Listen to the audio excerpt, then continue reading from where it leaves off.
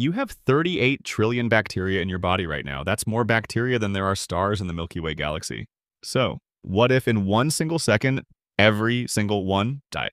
You might think, great, I'm perfectly clean. You'd be dead wrong. With that shield gone, the invaders win. Your undefended body would be colonized in hours. First, you'd stop digesting food, instantly.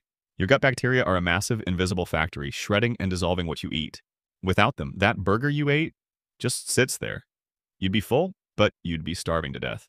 Second, your immune system would collapse. Your good bacteria are a living shield fighting off deadly fungi and other invaders 24-7.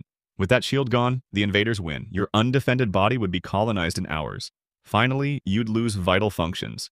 These bacteria make things you can't, like essential vitamin K. Without it, your blood stops clotting. A tiny paper cut becomes a huge problem. So if all your bacteria died, you wouldn't just get sick. Your entire biological machine would stop. They aren't just on you. They are you.